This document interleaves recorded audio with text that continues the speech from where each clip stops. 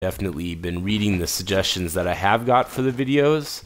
I'm working on some new things, some new uh, updates for some of the videos, so you'll see some of that coming here pretty soon. But, you know, keep an eye on that, and more importantly, thank you guys once again. Merry Christmas, Happy New Year. Well, you'll see me before New Year, but Merry Christmas. It's Christmas Eve. I hope you guys have a blast, and I will see you guys later. And as always, Game Wiener, the spine tingle bringer, will always be watching the games